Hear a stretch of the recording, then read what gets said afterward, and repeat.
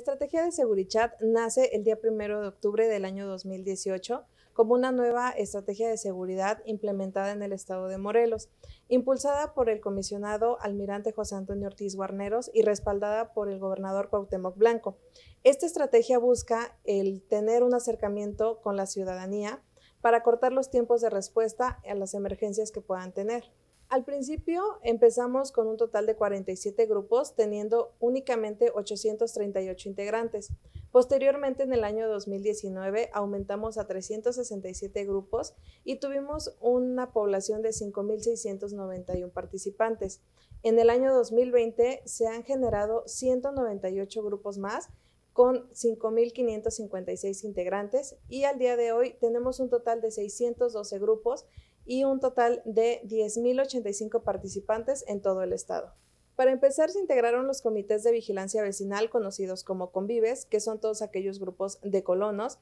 Posteriormente, otra categoría fue de consejo empresarial. La comunidad académica también es muy importante, por lo cual todos los docentes que se quieran inscribir pueden hacerlo a través de sus instituciones educativas. De igual forma, la sociedad organizada, el consejo de seguridad, y el área de transportistas, que también es muy importante, y hay un gremio bastante amplio en el estado de Morelos. El estado de Morelos cuenta con ocho municipios que tienen alerta de violencia de género. Una de las principales preocupaciones es precisamente salvaguardar la integridad de todas y todos los morelenses.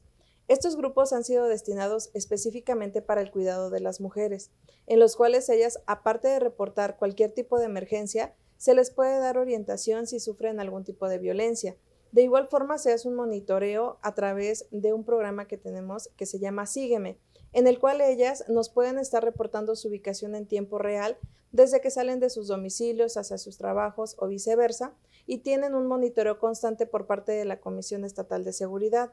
Al día de hoy contamos con 27 grupos de mujeres seguras y tenemos 751 participantes. Para poderse integrar a los grupos de Seguridad, pueden hacerlo a través de las líneas telefónicas 777-500, terminación 6261, 777-500, terminación 6268 y 777-500, terminación 6269. De igual forma, pueden escribirnos al correo segurichat.morelos.gov.mx.